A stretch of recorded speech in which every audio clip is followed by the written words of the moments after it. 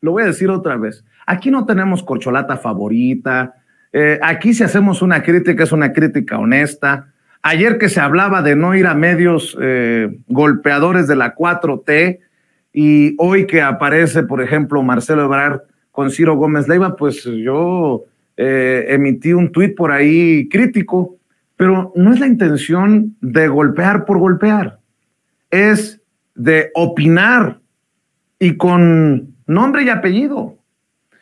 Pero qué bueno que rescatamos de este diálogo con Ciro Gómez Leiva de Marcelo Ebrard, esta desmentida de que existe una farsa en la elección de candidato a la presidencia de México para favorecer a tal o cual persona.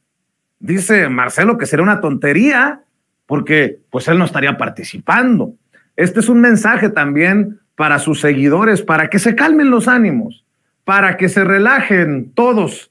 Esto es lo que dijo con Ciro Marcelo Ebrard. ¿Tú confías? ¿Confías plenamente? yo pienso tú, que tú lo sabes bien y yo creo que, lo hemos hablado contigo ahí, Hay una opinión de que todo esto es un gran teatro, casi una farsa, simplemente para investir a Claudia Sheinbaum. Bueno, si así, fuese, pues que la decisión está tomada, Marcelo. Yo no creo porque no lo crees. Francamente veo que es incompatible. O sea, ¿qué necesidad tendría el presidente?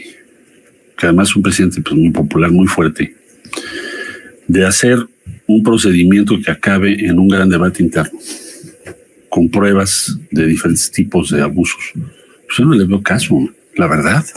Es un poco absurdo. Yo no voy a prestar una farsa. Si yo veo una farsa, pues lo diré igual que lo dirá Claudia, me imagino. O lo diría Dan. Entonces, yo creo que están como todos los incentivos para que tengas este periodo de una competencia real. Ese es el punto clave.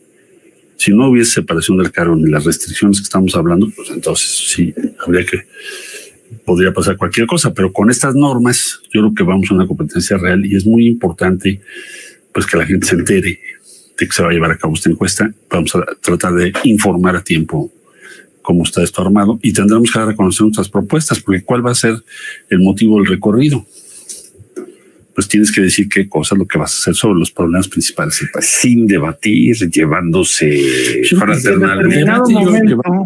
Y si en determinado momento se habla de las reglas, pues uno se preguntará, ¿qué? Pero qué necesidad. Conste, yo no lo hago para que mi crítica apoye a alguien. Simplemente creo que desde esta trinchera tenemos que reconocer, como hay que reconocer en estos momentos, que ahí con Ciro Gómez Leiva se sostiene Marcelo por el proceso y por el método, pero después dice que él va a ir a, pues a todos los medios que lo inviten. Y hay una regla que se establece ayer, al menos así se anuncia, eh, por Alfonso Durazo, el presidente del Consejo Nacional, de no asistir a medios golpeadores. Eh, creo que por ahí tenemos ya la declaración. Es esta de, Alfonso Durazo cuando dice no asistir a medios golpeadores, ¿no, don David?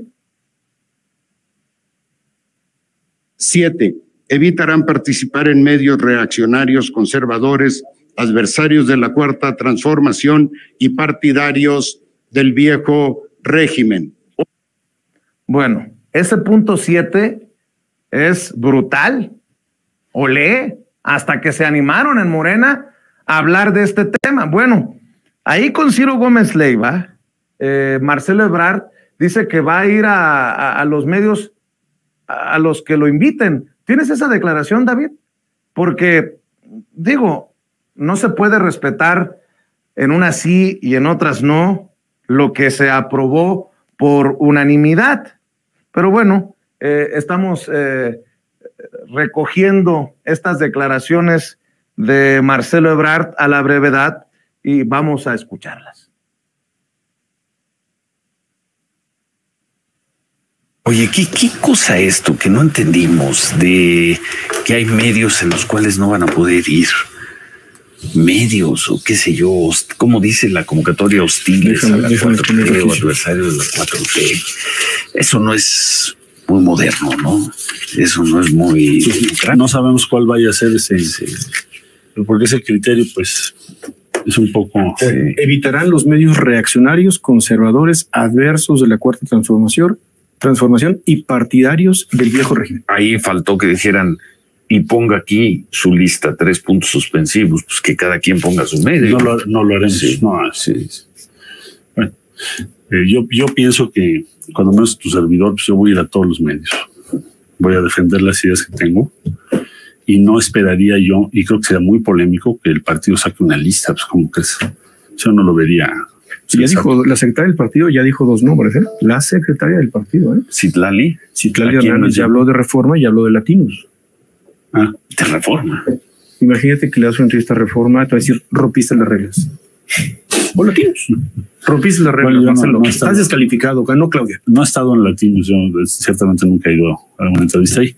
Pero en fin, desde mi punto de vista, pues yo estaré asistiendo a los medios de comunicación y te mm. agradezco mucho la invitación de...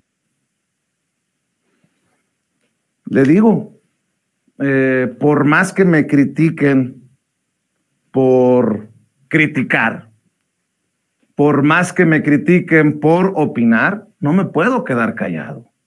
Solamente habría que hacer un llamado a Marcelo Ebrard a entender lo que firmó o, con lo que se acordó. Unanimidad, unidad. Y otra vez lo que dijo Alfonso Durazo. ¿Cuál es el punto siete que dice Marcelo? Yo no lo estoy diciendo, lo está diciendo Marcelo, que no lo va a acatar. Échalo, David.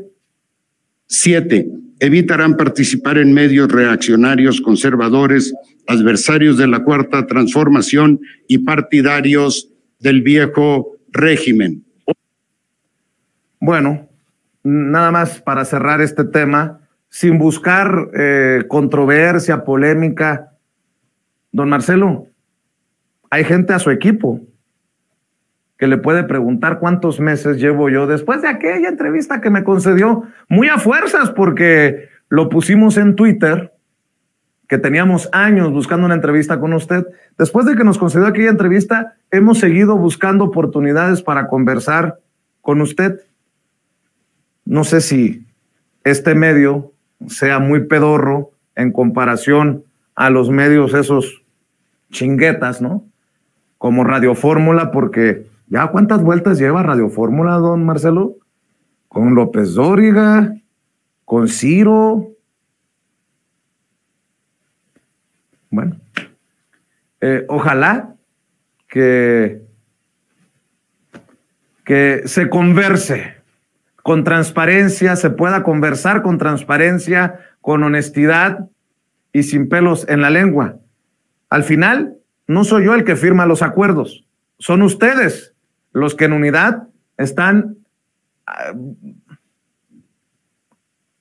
están acordando están pactando pues ciertas reglas, ciertos estatutos.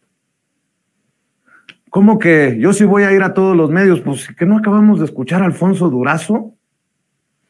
Yo, yo ya no entendí nada.